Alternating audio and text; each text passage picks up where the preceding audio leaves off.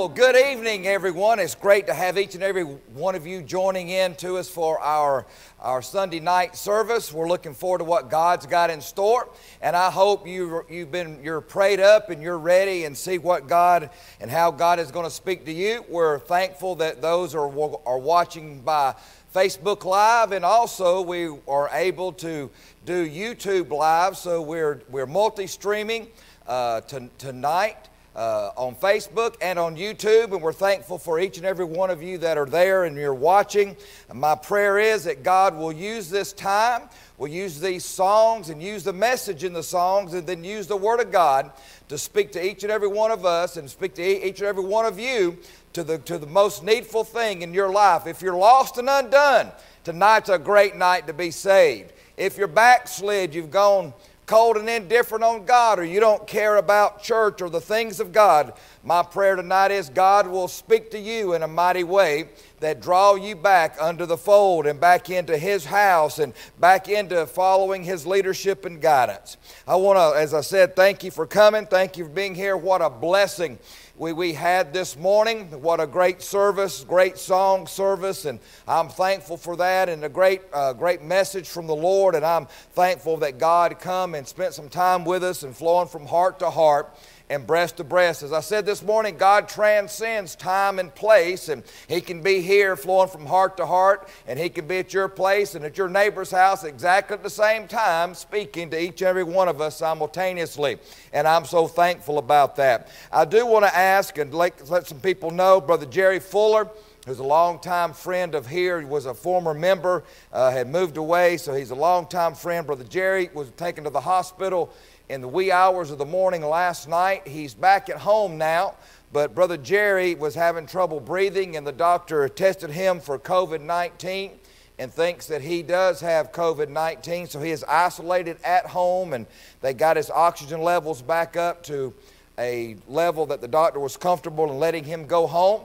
So I want you to pray for Brother Jerry Fuller. If you get an opportunity, I know Brother Jerry would love to hear from you. I spoke with him a few moments ago, and he told me to tell the church that he loves them and wants, wants, wants us to continue to pray for him.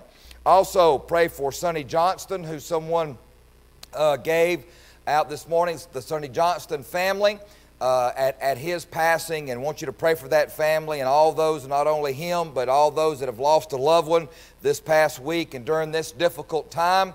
There is strange and modified ways that we're having to conduct a funeral nowadays. And so you pray for that family and you pray for the touch of God upon their lives. Also, it was mentioned this morning in Brother Paul's, uh, I guess, testimony uh, about people being indirectly affected by the COVID 19 mentally, physically, and, and have stress and emotionally. And uh, I pray for them, and I, I hope you will too. And if you are one of those individuals that fall into the categories that you're feeling great pressure because of where we find ourselves in our society today, Listen, I ask you to fall upon your knees and seek God's face and guidance, and God will help you. Now, I know that those that are suffering uh, se- severely from depression, I know that you just can't pull yourself up by the bootstraps as people sometimes tell you to do. Just get over it, pull yourself up, go on. But my prayer is God will help you in this time uh, so you can uh, seek the medical help that you need or God can give you enough comfort that God can ease off some of that and you will find yourself rejoicing uh, in the Lord. Um, it was uh, brought to my attention this afternoon that uh, our governor has asked us tomorrow, April 27th, from 10 o'clock to 11 o'clock, anytime during that time or the whole hour, if you have the opportunity and can, that he wants all the Georgians to pray uh, that the virus will be removed and that things will that God will see fit to get everything back to normal. So that's from our Georgia Governor uh, Governor Kemp, and I greatly appreciate him and his leadership, and I appreciate him asking. Listen, it's it, it's sometimes it's a rarity you find a politician that will openly and publicly say, "Folks, we need to pray." And I want to thank Brother Kemp for the, the knowing the need of praying. So tomorrow, 10 o'clock to 11 o'clock, Brother Kemp. Uh, I called him Brother Kemp, but Governor Kemp, uh, uh, has asked us to pray, so we'll pray about that. Also, it was brought to my attention as well. Uh, Dr. Ralph Sexton has asked uh, the church and asked different ones to pray coming up on May 15th. Uh, it's called Praying on the Mountain. And uh, you can go, they're looking for 100,000 plus on, on May 5th.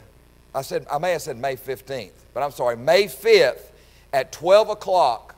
Dr. Ralph Sexton is wanting people to, to pray, and he's wanting to make sure, and he's wanting to record your name and record your church and whatever else there that he is looking for. You can go to ralphsextonministries.com and you need to sign up and you can sign up and then we'll he's wanting a 100000 plus but my friend if, if you and i the children of god will pray there'll be more than a 100000 praying uh, not only tomorrow but also on may 5th at 12 o'clock this is a request from dr ralph sexton and he's at ralphsextonministries.com and the, and the scripture that uh, Dr. Ralph Sexton has for this time of praying on the mountain.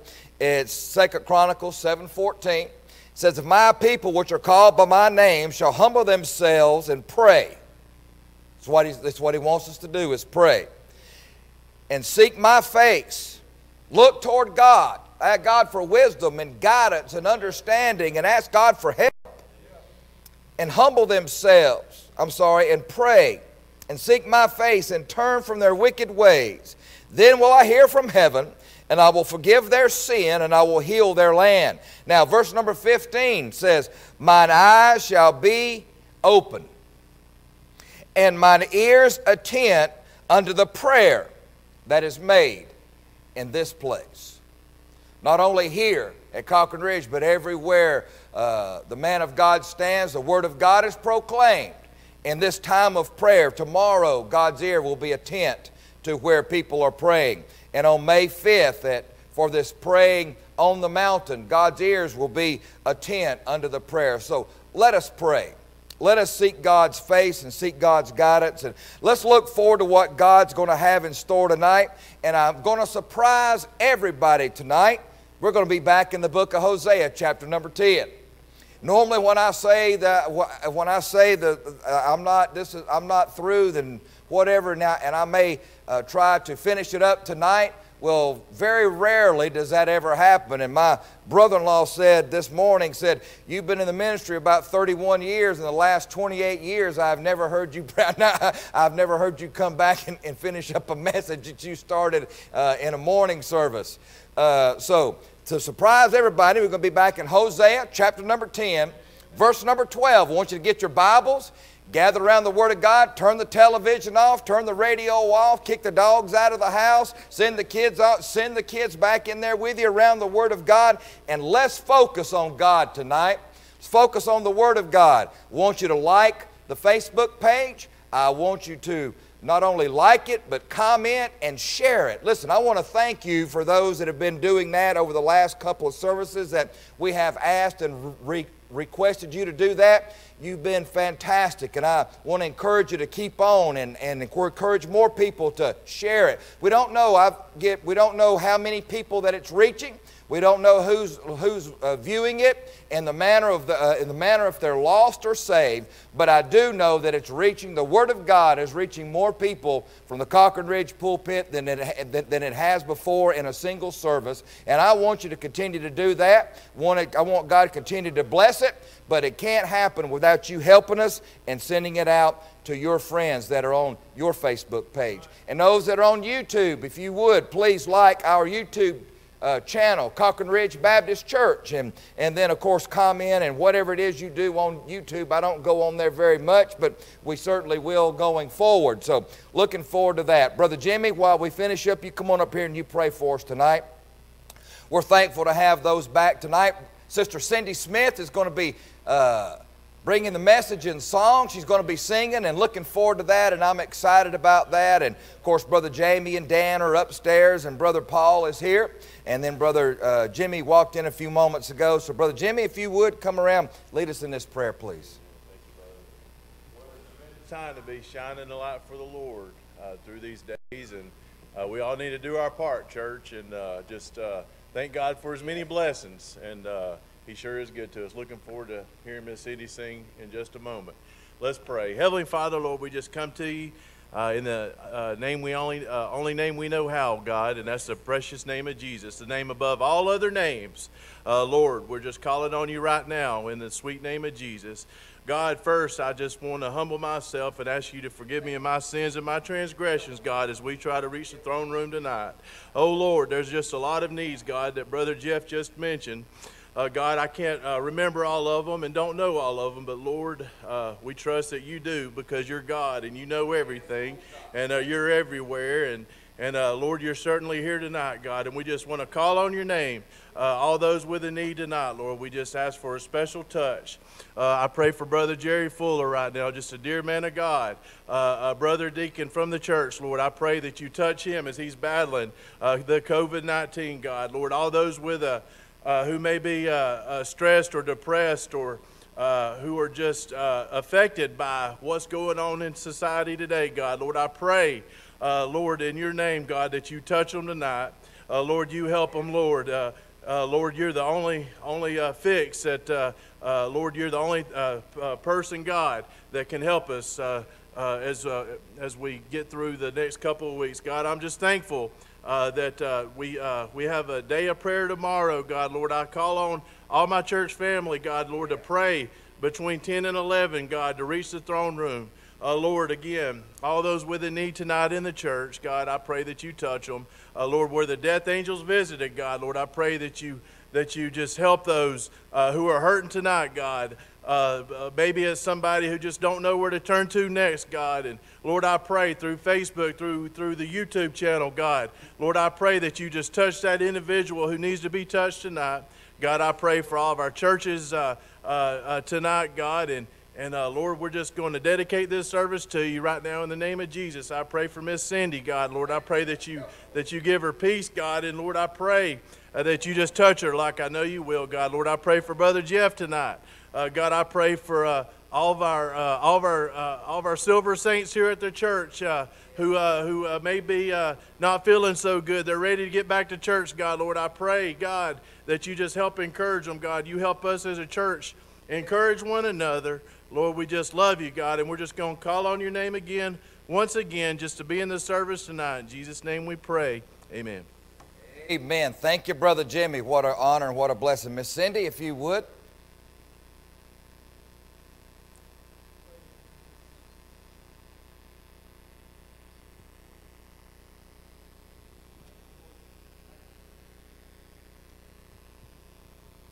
Well, before I sing, I do I want to use this opportunity to testify because it seems like forever since we've been able to be here to testify. I do want to thank the Lord for saving my soul. I want to thank Him for the privilege of being in His house tonight. I want to thank Him for the message that Brother Jeff brought this morning. Because, Brother Jeff, I don't ever want to be found in that part where it's a divided heart. I don't ever want to go through the motions of just coming in the church. I want to come in and I want to go out different when I do. And I pray that the Lord just touches everybody's heart through all this that we've been going through, and that we'll all come back with a renewed spirit and a renewed heart and be on fire for the Lord. And when Brother Jeff asked me to sing, I've had about two weeks to pray about it, and I've just asked Lord, I said, Lord, show me the songs that'll just be an encouragement, they will minister, they'll help somebody along the way to let them know that we're not alone in these times and they talk about, you know, God's faithful, His promises are true, He's with us in the valleys, and He's with us on the mountaintops, He's just with us all the time. So I pray these songs will be a blessing to you.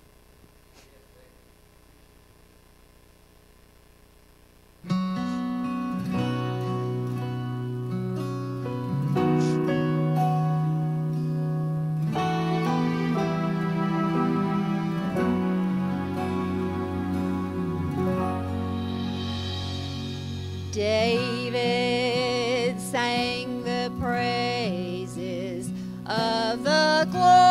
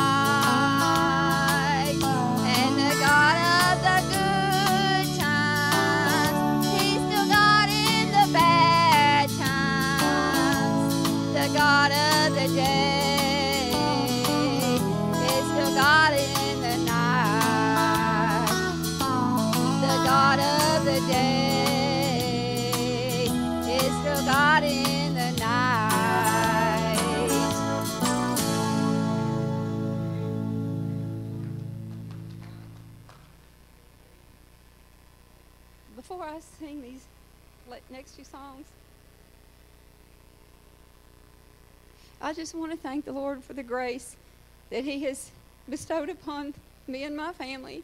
And I know that I've only made it by grace these past 30 days. Because y'all know, most of y'all know, our church family knows, the Lord called my mom home on March the 14th.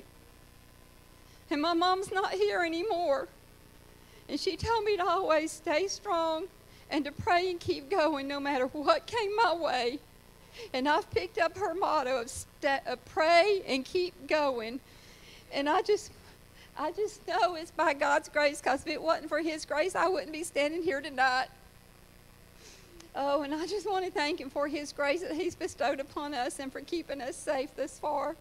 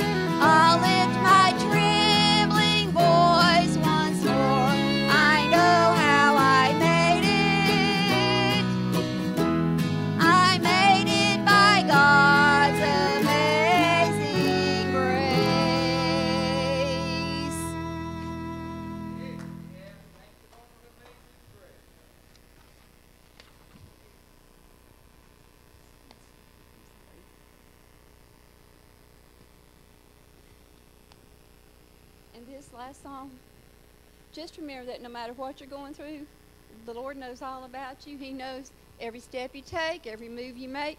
And you know, that can go right along with what Brother Jeff said this morning about the way we come in, in and out of churches. Lord already knows how we coming in and out, what's in our heart. And just remember, God knows everything, He sees everything.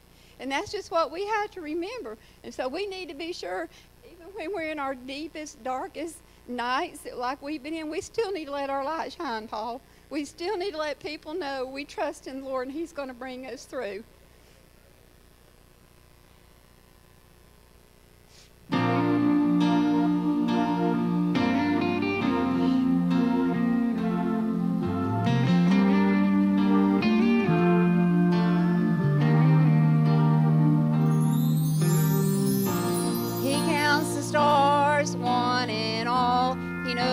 Sand is on the shores. He sees every sparrow that falls.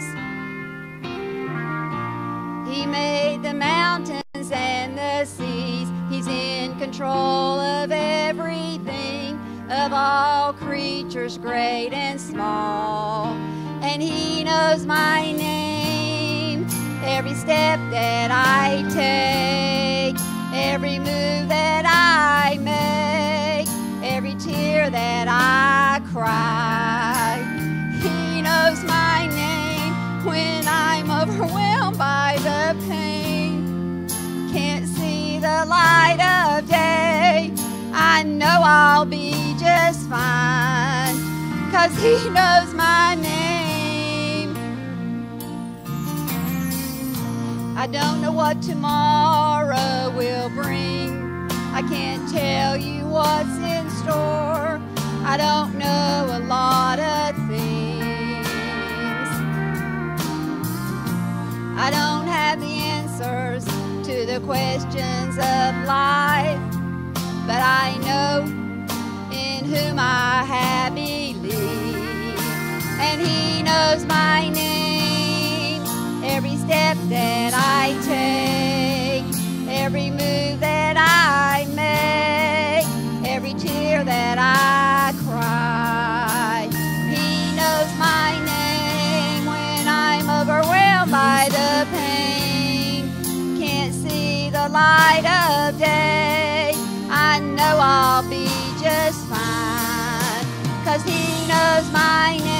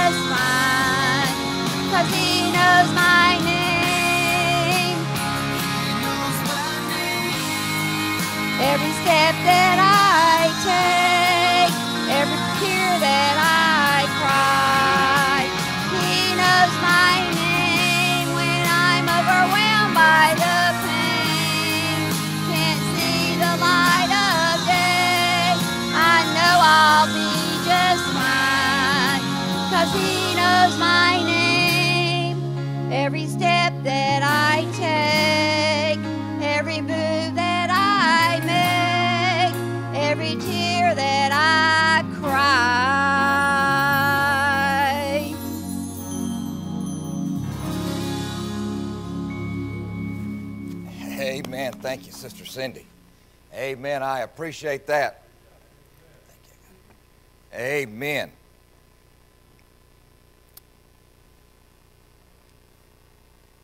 Right quickly before we get into the Word of God in Hosea chapter number 10, right quickly want to do mention and I want to welcome welcome home as we always say. And it won't be too much longer till we'll, we'll be able to hear that, those words in person. And i'll be able to see you and to give you those words in person. And i am so thankful that we do have a home. And the home is our father's house. And to, uh, next week may 3rd and then may uh, i think it's may 3rd yeah may 3rd and i think may 10th uh, we're going to still have our Facebook Live and our YouTube Live. And then on May 17th, uh, Lord willing, if everything works out right, and we spoke about it a couple times, if everything works out right and uh, that goes well, we'll have a modified uh, church services uh, May 17th all the way through, uh, through June 21st.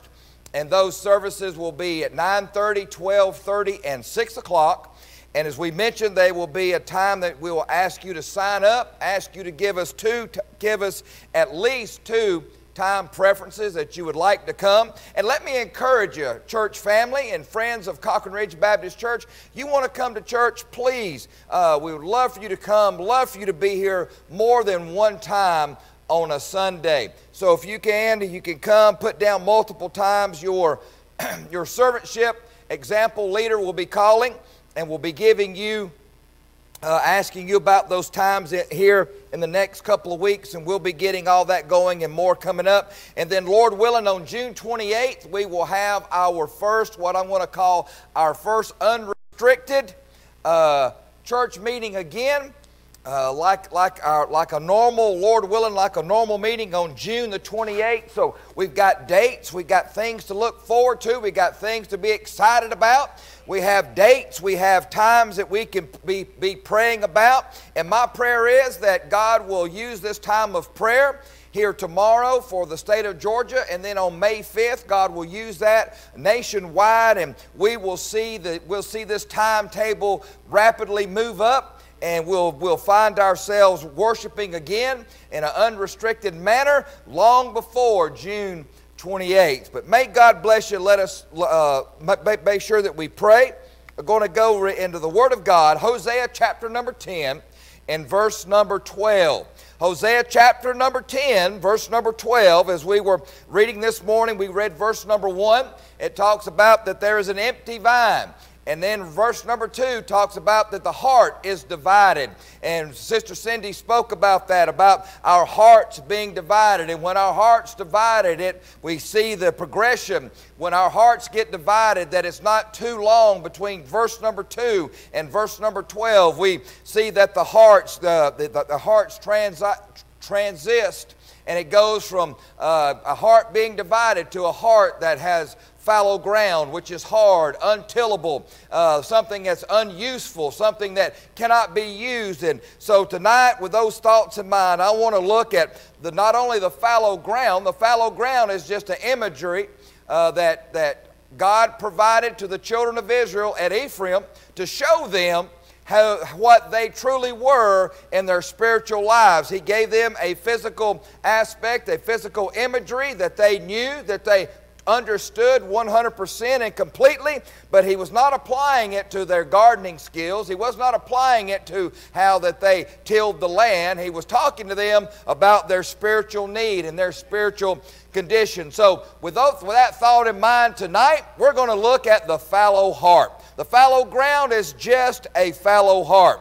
And the fallow heart is, let's read verse number 12. Sow to yourselves in righteousness, reap in mercy Break up your fallow ground, for it is time to seek the Lord till he come and rain righteousness upon you. That, that, that fallow ground is certainly a fallow heart of every man, woman, boy, or girl. Not only in the time, uh, not only the time of here of Hosea, not only in the time of the minor prophets and King and King Jeroboam the second, but it is, but it is a time of where we have fallow hearts in our society and in our lives today. And, and, it, and is, it is much more sadly rampant in our churches than we can ever imagine. Listen, because I don't know your heart heart, and you do not know mine. But can I say this? God knows our heart. God knows our mind. God knows every single thing about us. God knows how many hairs we have on our head and how many hairs we don't have on our head. And I'm thank God for it. But can I tell you that the fallow heart here in the Word of God, the thoughts tonight is the fallow heart. The fallow heart is a, a unreceptive heart. The fallow heart is very unreceptive because when it goes from that divided heart and it becomes a fallow heart, that means it becomes singular focus and it is no longer focusing on God or the things of God or cares about God or the things of God. And we see that fallow heart, that hard heart, that callous heart, that indifferent heart. It's unresponsive to the Word of God tonight. That it's unresponsive. Kim, let me put it in, in this manner that they that when we uh, the Word of God is preached and the Word of God is, is go, goes out, whether uh, in live or whether uh, the way of social media or whether by the way of video or television or radio, when the Word of God it goes out and it, and, and it finds a lodging place and it finds a ear. We can hear it, but a lot of people don't listen. Have you ever been accused when somebody says, Are you listening to me? You, you, you hear them, but you're not listening. Well, can I say that we do that a lot to our Lord and Savior Jesus Christ? We do that a lot to the Word of God. We do that a lot to the Holy Ghost. We hear Him, but we're not listening. That is the un that that is the un excuse me that is unreceptive heart tonight. Is when we hear, but we don't listen. Also, not only when we hear, but we don't listen, but that but that we look, but we don't see. See, we can can look and see, we, we can see others sin, but when we look in the mirror, we can't see our own sin. That's the unreceptive. We do not want to take responsibility for our own lives and our own actions and our own outcome. What is wrong with society today? Well, what's wrong with society today is because the people of God have failed the Lord. The people of God have got a fallow heart now in general, and we have failed God. Where, why, we, why is our society, why do we have a society today? Why do we have a people today that wants to look and point out others, other sins and others' problems, but they do not want to recognize their own? It's because we have failed and they have fallow hearts. They can see others' problems. They can see, they can see problems with other people. They can see problems in other homes. They can see problems in other churches. They can see problems on the front pew. They can see problems on the back pew the right pew and the left pew, but can I say they can't see the problem where they sit tonight? You know what that is? They're unreceptive to the Word of God speaking to them, unreceptive to the Holy Ghost to show them their own sin. And listen, I'm thankful tonight that all that God's done. And listen, I was thinking about this, and the, the thought come to me earlier, to, earlier today about Matthew chapter number 13, about the seed and the sower. And I got to thinking about the unreceptive ground that got that that that, that the that the sower found as he was going, and he was going by there, and it says that, that some of the seed in Matthew 13, and I just wrote these down that this is not, uh, I am not quoting it uh, per scripture, but I'm just giving you the highlights of, of some of these verses. Matthew 13, it says that the seed fell on stony ground, and it said that it sprang up immediately, and it, and it was growing. It said, but it said, it said it had no root, it had no depth, it had no deepness. You know what's wrong with most churches today? They're not deep in the Word of God. They, they, they, they are still on the milk of the Word of God. We've got people that's been saved 40, 50, 60, 70 years, 10 years, 5 years that do not know anything more than as long as I'm saved and I'm not going to hell, then that should be all right with me. They don't know anything else about God and the Word of God and living for God and the Spirit of God. They're happy and content where they are. They're unreceptive to go and to hear about their own sin and their own problems of life. And yet they find themselves, they sprang up, they have no root, and they have no depthness, and, and they have no uh, depth to them. And guess what? And when it says the sun come up, and the sun come up and scorched them, and it went away. And why did it scorch them? Because the roots, they had no depth, they had no soil, they had no deepness, they had no depth to them. And you know what that relates to you and I, we have no maturity today in the house of God. We have people that have been saved, as I said earlier, that have been saved, saved a long time, but they're still spiritually, they're still babes in Christ. We have no maturity. Why are there so many fallow hearts in the house of God? It's because we're it's because our hearts are unproductive and we find ourselves being babes in Christ, having no depth, having no deepness in the Word of God, having and not having having a shallow walk with the Lord. We are unresponsive in those ways. And not only are they unresponsive because we have no maturity, but tonight we're there that the Tonight, the fallow heart is, is an unproductive heart. Not only is it an unreceptive heart, but it's an productive heart. And I got to looking and thinking about that unproductive heart. And once again in Matthew chapter number 13, the seed and the sower, it says that the seed, uh, as the sower was, was sowing the seed, it says some of the seed fell by the wayside. And the fowls came and devoured it before it could take root. And listen, that's some of the unproductiveness of the church tonight. Some unproductive of us as individuals tonight. Listen, there's a church church almost on every corner here in the Bible Belt. If you had a good arm, you could almost hit two or three churches with a rock tonight, most anywhere you wanted to go in Paulding County, Cobb County, Douglas County, Fulton County, uh, anywhere that you wanted to go. You could almost hit a couple of churches if you had a good arm with a rock tonight. Listen, we've got more resources at our disposal. We have more things that we have in our lives. We've got more programs than we could ever imagine to have have in the house of God. And yet, why is the house of God, and yet, why are we as individuals and God's people tonight, why are we have all these resources and all these programs, and there's a church on every corner, but how come we're so ineffective and we're not impactful tonight to a lost and dying world? It's because we have an unproductive, fallow heart. We don't care what happens to that one across the street. And listen, that that that transcends where that transcends generations where years ago people knew each other on their street. People knew each other, their neighbors and their neighbors' neighbors and the neighbors' neighbors and one over on the other street. They knew each individual. They cared for them. They looked after them. They made sure everything was all right. They were a family together in a community. And yet today we live in our houses and yet today we can, we, we, we can say, they don't, we don't know who our neighbors are. Now, listen, we throw our hands up when they, when they drive by or when they're out mowing grass, and we'll throw our hands up away, but we don't know our neighbors. We don't know who they are. We don't know their names. And then yet, that becomes, that that transcends from our home and our society into the church house is where we become unproductive. As long as we're happy, as long as we're content, as long as things are going seemingly well, then, then we're just satisfied and we're happy.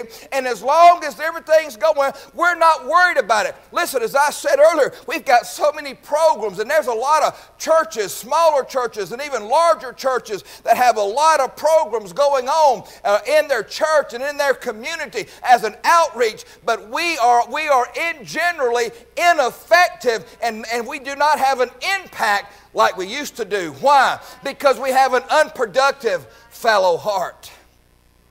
Not only do we have an unproductive fallow heart, but listen, we have an un, we have an unresponsive heart. That fallow heart tonight is not only uh, unreceptive, unproductive, but it's unresponsive. It's an unresponsive heart tonight. And what I mean by that is, listen, you know, and we'll go back to Matthew 13 again. The seed and the sower, as they are sowing seed and he is sowing, it says that some fell among the thorns. And it didn't say, it didn't say that the seed sprang up. It didn't say that the seed sprang up or even took root. It says that the thorns sprang up and choked them out. Listen, we're, we're, we are unresponsive people when we don't respond and when God, we don't respond to the Word of God and the moving of God in our lives. We find ourselves just idle. We find ourselves in a position where if God speaks to us and God says, stand up and testify, and we push back the Holy Ghost of God and we tell him, no, I can't do that. Or he gets up and tells you to do something. He gets up and tells you, go to your neighbor. Or he wants you to, he wants you to get up out of your pew and do nothing and teach a Sunday school class or help, uh, help teenage girls or help middle school girls or elementary girls or boys or whatever it may be in a youth program and you sit there and say, no, I'm not going to do it. I don't need to do it. We find ourselves idle. And when we find ourselves idle, we'll find ourselves in a position and in a place that we have an unresponsive heart, that there is no seed planted, there is nothing that takes root, that the that, that, the, that the cares and the things of this world and what we have upon our lives overtakes us and overruns us and chokes out the Holy Spirit of God. We become unresponsive. Why is there such a fallowness in our hearts in the churches today? It's because there's a great falling away from the Lord. Why is there divided hearts? Why is, why is once the divided hearts now become fallow hearts in our society today? It's because, the, eh, because of the progression that we find ourselves in, not leaning toward the Lord, not trusting in Him, not uh, seeking His face, not seeking wisdom, not seeking guidance, not, not, not caring about God or the things of God or God's house or God's people. Listen, when we find ourselves, we'll find ourselves that we become a unresponsive individual. When we don't, we don't turn to God and we don't ask God for, lead, for leadership and guidance, we find ourselves that we become totally ineffective for the house of God. You know what? You know why so many churches are ineffective? You know why they are ineffective for, for, uh, for, the cause of Christ? You know why people aren't being saved? You know why people aren't being joined? Maybe not, not in a single, singular individual church, but how come people, listen, you can read uh, on the Southern Baptist websites and you can read their uh, periodicals and some of their chronicles, and it's not just them, but it, at least they're posting it. They're talking about the great decline in baptism. So if there's a great decline in baptism, that means there's a great decline in salvation. Not only is there a great decline in baptism and salvation, but there is an even a greater decline of people that are attending the house of God. And why is that? Because we find ourselves being fallow hearts and we find ourselves totally being unproductive and not following the leadership of the Lord. Let me say this, when you are when you are unproductive and when you have your ground that just that, that just lays there and, and has not been moved, has not been touched, and, and what happens is the weeds take over. The weeds take over. When the weeds take over, then you find yourself having a harvest that you never planted. Did you know that there's a great harvest for sin? And I got to thinking about this this afternoon and uh, reminds me of King David. He planted one lustful seed. And yet he reaped a harvest for the rest of his life, a tearful, sorrowful harvest, a harvest of sin for the rest of his life. Why? Because he planted one seed. He planted one seed of sin, that seed of lust, and it cost him greatly the rest of his life. Yes, he still, the Bible says that God even said he's a man after God's own heart. If we're not careful, that man after God's own heart will become a fallow heart or become a divided heart. We have to be careful tonight to find ourselves that we'll be unproductive tonight. We'll find ourselves to be ineffective by the moving of God tonight. Listen, we'll find ourselves unresponsive to the will will of God. We'll find ourselves unresponsive to the work of God. We'll find ourselves unresponsive to the Word of God. And we'll find ourselves unresponsive to the call of God in our lives. Well, I don't want to be called to preach. I don't want to be called. To, listen, he just may call you to go next door. He just may call. He just may call you to tell you to, that go next door, to go down to the schoolhouse, go somewhere to honor and stand for Him. But yet we have an unproductive heart, an unresponsive heart, and an unreceptive heart. Also, we have a, fallow heart tonight is not only the, unre- is the unreceptive, the unproductive, and the unresponsive, uh, but yet it's the unblamable heart. What do you mean by unblamable, Jeff? Well, can I tell you this? That whatever happens, it's not my fault. It's got to be somebody else's fault. We want to we want to give blame to somebody else. When you and I don't have a tender heart, when you and I don't have a heart that's bent toward God and the things of God, when something goes wrong in our life or when there's problems in our life, or as I said earlier, we can see the problems in everybody else's life, but we can't see the own, but we can't see our own problems in our own life. And I'm not to blame. The, the what I'm what I'm experiencing today, what I'm going through today, all the troubles that I'm experiencing, it's certainly not my fault. It's certainly got to be somebody else's fault. Well, preacher, how come the church isn't full? How come people aren't getting saved? You know what, preacher? You must not be doing your job.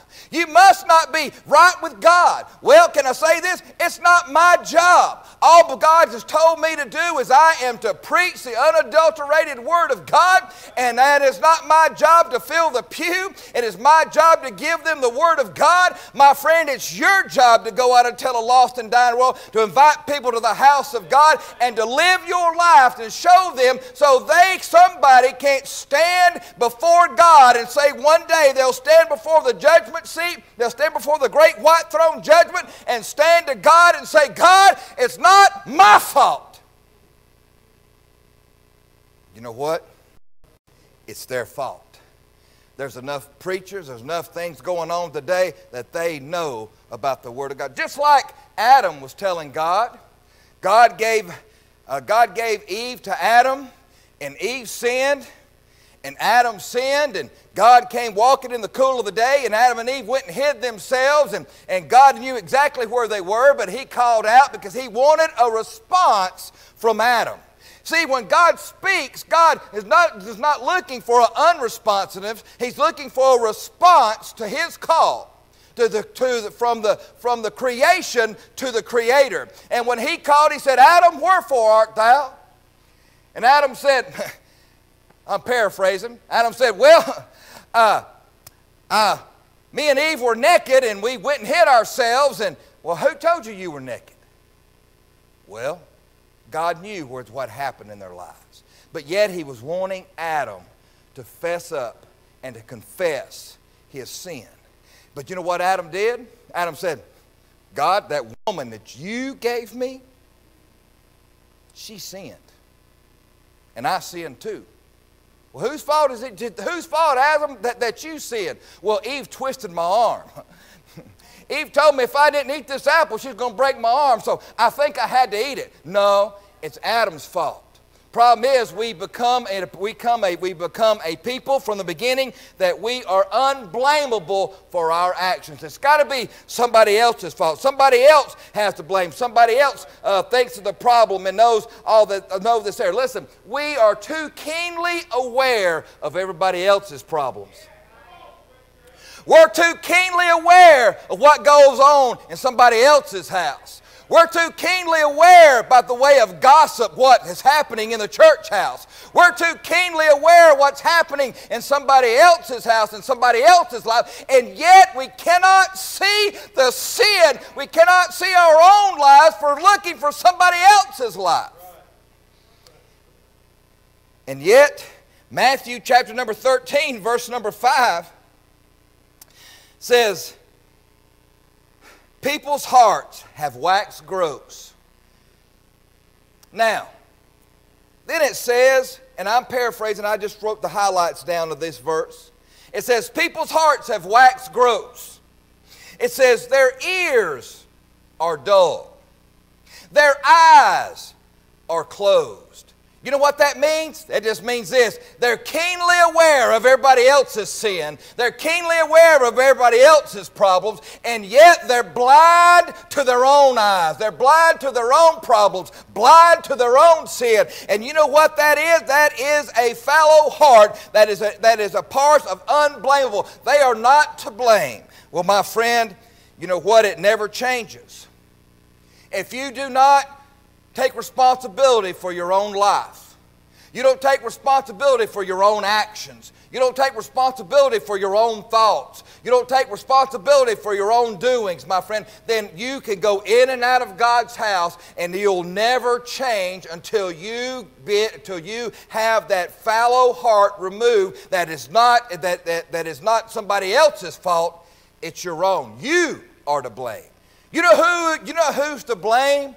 For the sin in Jeff Childers' life? Boy, I'd love to blame it on y'all. Boy, I'd love to blame it on I'd love to blame it on my sisters.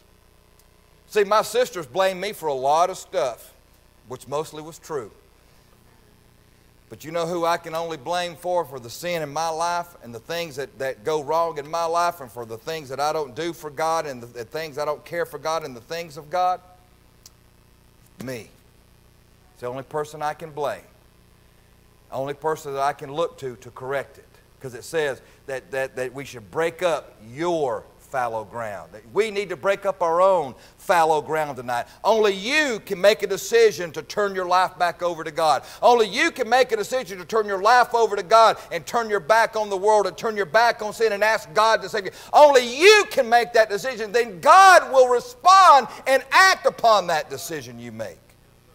You want your ground, you want your fallow ground broken up? God will, God will, as I said, God will provide the plow, and then God will provide the seed, then God will provide the water, then God will provide the fertilizer, then God will provide the harvest. Why? All He's asking you to do is you have a desire to break up that fallow ground.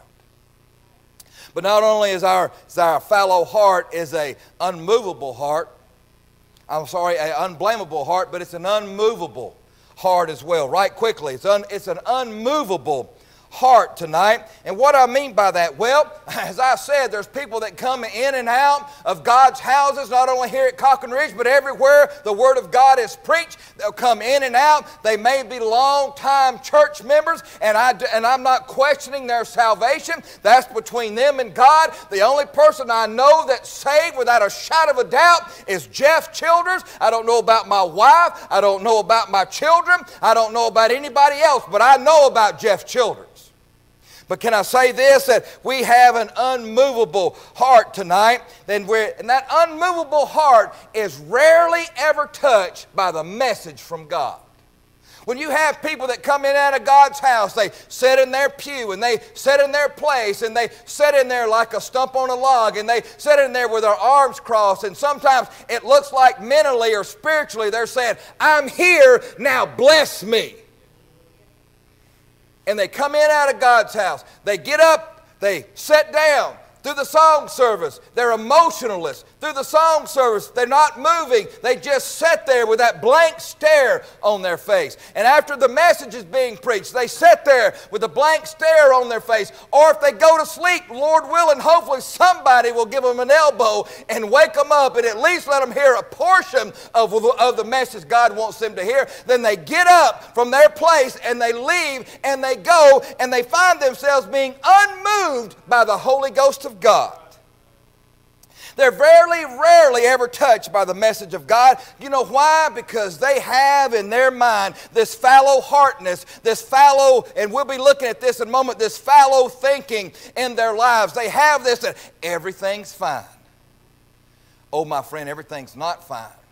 I don't care if you are the best, if you're, if you are, if you think who you if you are, I mean, let me get this right, my mind's reeling here. If you are who you think you are, if you are the best thing since sliced bread to God and to the church, you still got room to grow.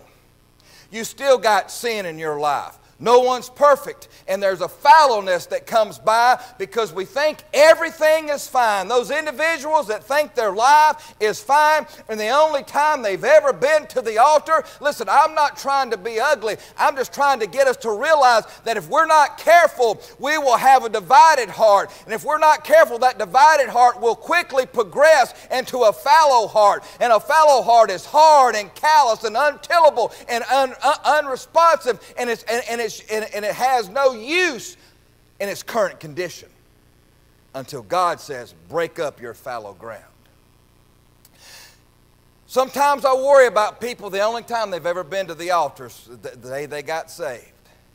They could be up in their 50s, up in their 60s, up in their 70s. They say, Well, I got saved when I was 10 years old. And they've been saved 40, 50, 60 years. And the last time they ever went to the altar of God, every time they went down to have a little talk with Jesus, every time they went down to get things right, every time they went down to ask God to forgive them of their sin, every time they went to ask God to cleanse them and to help them or to do something in their life was when they were 10 years old. Listen, I would be very concerned and worried worried about where you're going to spend eternity if you're not truly saved. Oh, why? Because sometimes there, um, there's an unmovable heart is a sign of a fallow heart. Let me read you Revelations chapter number 3, verse number 15. I know thy works. This is God speaking.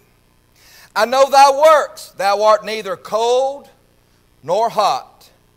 I would thou wert cold or hot. So then, because thou art lukewarm, and neither cold nor hot, I will spew thee out of my mouth. Listen, we think everything's fine, and it's not. God says you've been playing church too long. You think you're hot, but you're cold.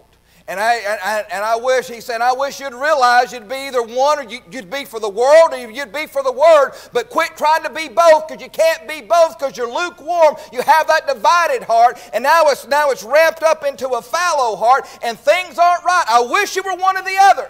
Because I could speak to you about your lostness. I could tell you that you're lost. And if, if, you were, if you were hot, you could tell others about it. And I could speak to you in a manner that you want to draw closer unto me.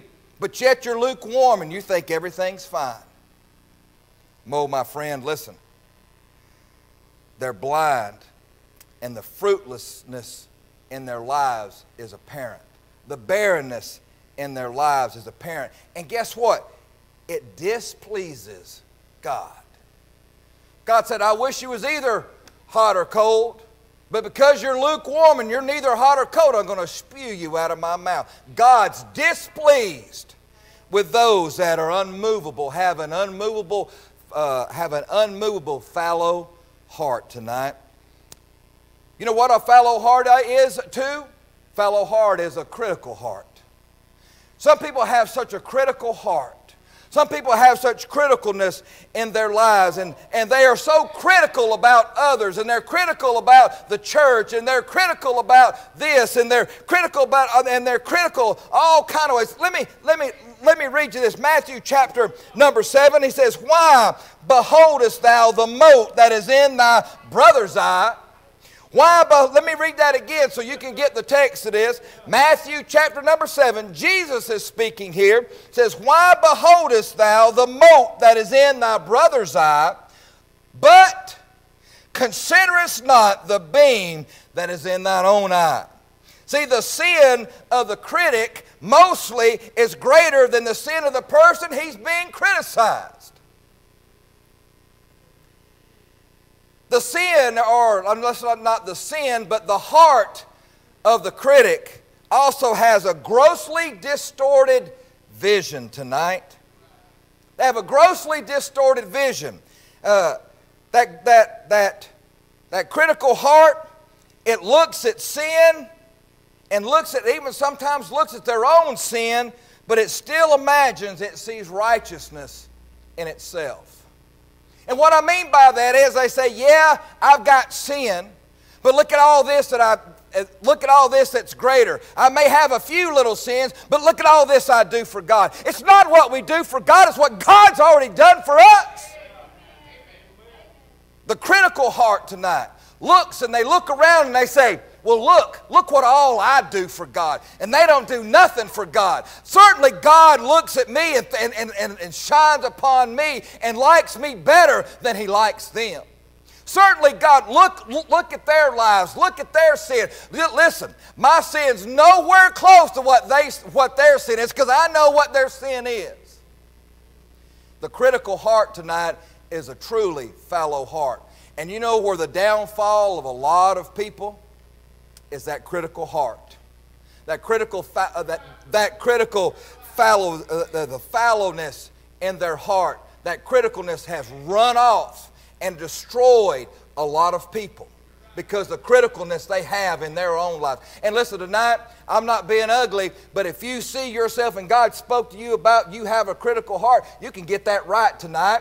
You don't have to worry about waiting to the church, waiting till the church doors open so you may come in. You can fall upon your knees right there and ask God to help you, ask God to forgive you, ask God to cleanse you tonight of that criticalness in your life because it's destroying not only your life and your family's life, but your witness and your testimony and lives of others because you're critical about other things that uh, that you have no control over. And we're critical about how we live, or we're critical about the way someone dresses, or we're critical about what they drive, or we're critical about this, or critical about that. Listen, we, uh, God has asked us not to be critical, and that's that grossly distorted vision that we see everything, we see everybody else's, but when we look at our own sin, we, we, we look at more, we, we say, well, we're still pretty righteous. We still have some righteousness. we my, I have more righteousness in my life than I do sin. That's critical. That's a criticalness heart. That is a critical heart and a fallow heart tonight. One more tonight, and I want to look at this. We have a fallow heart is not only, and I'm, let me give you these tonight in order that, I, that God gave them to me. A fallow heart is an unreceptive heart. A fallow heart is an unproductive heart. A fallow heart is an unresponsive heart. A fallow heart is an unblameable heart. A fallow heart is an unmovable heart. A fallow heart is a critical heart. And the last one I got tonight is a fallow heart is an incorrect thinking heart. What do you mean by incorrect thinking? Well, let me put it to you this way. Not too many times, but there's been times down through the years of my ministry that I have heard something of this nature. Well, the talk that goes on in the church house. Now, when somebody talks about God's message and God's word as a talk, there's a, there, there lies a problem within itself. But the talk that goes on down at God's, uh, that goes on down uh, at uh, at the church house, you know what? It's getting old. It's getting old about this true worship. It's getting old about somebody talking about true worship. Man, I'm here. should, that should be enough. You shouldn't worry. We shouldn't worry about what people do outside these church doors. We shouldn't worry about their, we shouldn't worry about how they walk with God and how they live out in the lost As long as they're in the church house, listen, some people think as long as I'm putting money in the plate, I should be able to have a, I should be able to have something to say about what goes on down at the church house. Can I say, if you feel that way, keep your money. Just keep your money. God don't need your money. But that sometimes that, that incorrect thinking heart, they think about it in a manner, well, about this true worship. Well, I'm here. That's really, you know, that's, that's, that, that should be enough. Not only that uh, incorrect thing about the worship, but also about true revival. You know why that we, you know why we don't have a lot of five-day revivals anymore? You know why churches have gone to modified revivals, three-day revivals, two-day revivals, one-day revivals, a day of revival, whatever it may be? It's because the people have incorrect thinking about what true revival truly is. It's not a series of meetings. It's not a series of time. It's about our heart and our walk walk and our fallowness in our heart with God. That's about revival. And some people say, well, I'm satisfied. I'm satisfied with the church. I'm satisfied with the way it is. I'm satisfied with my life. I'm satisfied with how I live my life. Therein lies the problem. You're satisfied tonight about how you live in your life. We should have, we should never be satisfied with the life that we're living down here upon this earth because there's always room for improvement. There's always room to ask God to forgive us. There's always room to get closer to God and have a closer walk with God and spend more time with God and be right with God. There's more room tonight. That's some incorrect thinking. That is a fallow heart tonight. But not only that, that about incorrect thinking, about worship and about revival, but there's a lot of incorrect thinking about spiritual growth. This is, this is, this is most people's attitude about spiritual growth. I'm saved. I'm heaven bound. I'm not going to hell. What else is there? Oh, my friend, if you got that attitude, if you've ever thought that, you've got some foulness in your heart. You gotta, you gotta, you gotta break up. You got to ask God to sink His plow deep get them times sunk deep into your life and plow your life. Why? Because, oh, there's, there's more to being a child of God, listen, than just being saved, than just going to heaven, than just missing hell. It's about the, the complete experience that you and I have as a child of God, walking hand in hand with our Lord and Savior. Not only that, but right quick, there's a lot of people that have a hard time about why preachers and about why we're always talking about that we need to be faithful. We need to be faithful to God. We need to be faithful to God's house. We need to be faithful to others. Listen, some people say that's foolishness. We don't need to go to church every Sunday. Listen, God, God knows how busy I am. God knows what I got on my plate, and this is the best. This one that this one always gets me. It always sends a twinge that I could bite a 16 penny nail in half when someone says, "Me and God, we've, we've got this thing worked out." Well, no. There's no working it out with God. Either you follow God's precepts, you follow God's guidance, you follow God's words, or you ain't got nothing worked out. You're fooling yourselves. Listen, and probably one of the other ones that I like is Preacher, when I have time, I go almost all the time. Preacher, you know I'm busy. You know I, I got all this and God knows about it, but you know when I'm not busy and I don't have anything else to do, and, and, and, when, and, and when I'm not that busy, I, I, I go to church almost all the time. Well, that's fallowness. You may not recognize it. You may not know it, but I'm telling you by the Word of God tonight, God's trying to show you the foulness that's in all of our hearts that we have got to deal with. We have got to address it. We've got to ask God to forgive us. We've got to ask God to help us and then repent from that foulness and ask God to plow deep in our lives so our heart can be useful and the ground can be useful once again. Listen, we need to break up the foulness in our hearts our fallow hearts are far, not near to the Lord. Because we said this morning, the Lord said, They draw near to me with their mouth or their lips, yet they're far from me with their hearts. Fallowness never draws close to God. Fallowness always turns and runs from God and distance themselves from the Lord. I'm going to end with this tonight Ezekiel chapter number 36. Ezekiel chapter number 36, verse number 26. The Holy Word of God says, this, the Lord speaking, He says, A new heart also will I give you. Now think about this. This is God speaking. Look at the promises of God that's in this scripture.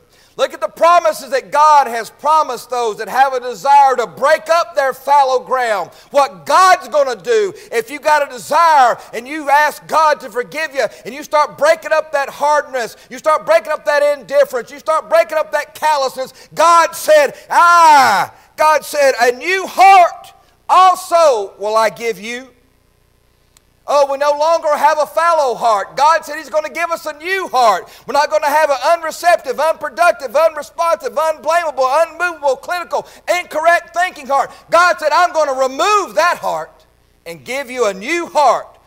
Also, will I give you, and a new spirit will I put in you, and I will take away the stony heart, that fallow heart out of your flesh, and I will give you a heart of flesh, a tender heart, a heart that's open to God and to the things of God, and closed off to the world. Listen, look at what the Lord has promised if you and I just have a desire to break up that fallow ground. That old hard heart God said He's going to replace it. He's going to give us a new heart and a new spirit. And He's going to take away the oldness. He's going to take away the dullness and the staleness and the stagnation of our walk and our life with Him. He's going to remove it and He's going to replace it with a brand new heart of flesh. You know what that means? Have you ever heard somebody say that when they've had open heart surgery, or I've even to- spoken to some people that have had heart replacements. And they said, I've got a new lease on life. God's telling you, He's going to give you a, not, not just a new lease, He's going to give you a brand new life. Do you have a desire tonight to break up that fallow ground? My prayer is that God has spoken to you tonight God spoke to you this morning. I'm thankful for the Word of God. Listen, I've got some more thoughts. I don't know. Next Sunday morning, we may be find ourselves back in Hosea chapter number chapter number 10. Verse number 12. Let's have to follow the leadership of the Lord. But tonight, I'm focused on the fallow heart. And listen, we just I just scratched the surface of things that God just right gave me quickly when I was studying this about the fallowness in each of our hearts.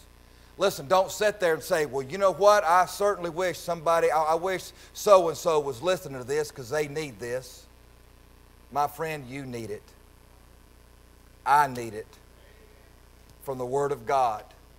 This is not a message from Jeff Childers or the thoughts of my infinite, of my little brain, but it's from the infinite wisdom and divine guidance of God tonight that God's wanting to speak to you. Why did, why did I not have another scripture? Because God knew who was going to be listening tonight. And God wanted you to hear this message because this message is not for somebody else. This message is for you. What are you going to do with the message God has given you tonight about your fallow heart? God wants you to, God wants you to have a desire to break up your fallow ground. He didn't say he was going to do it. Hosea didn't say he was going to do it. God instructed you and I that we have to have a desire for us to break up our own fallow ground. And then God will provide all the tools and everything needed for us to be useful and us to reap a harvest of great joy and peace in life. May God bless you tonight. Let's go to the Lord in prayer.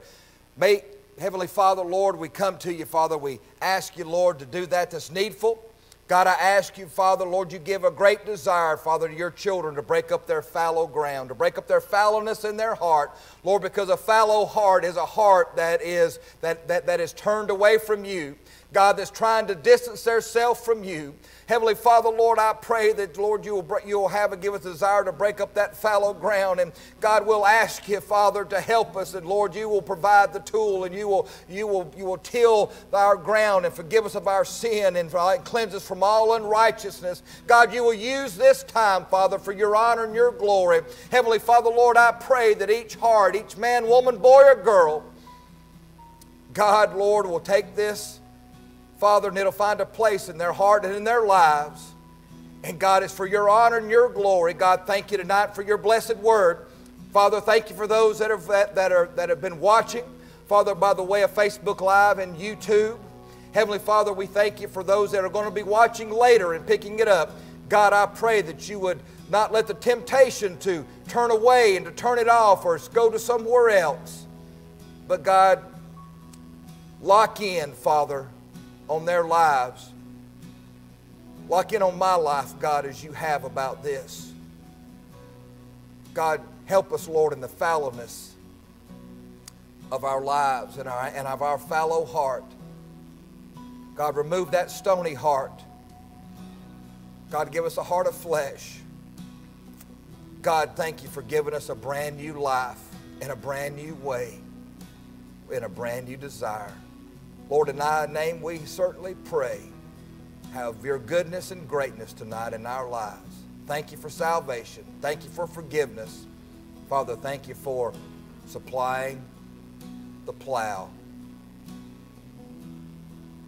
that changes our lives, our hearts and our attitudes, and our walk with thee. In thy sweet name we pray. Amen.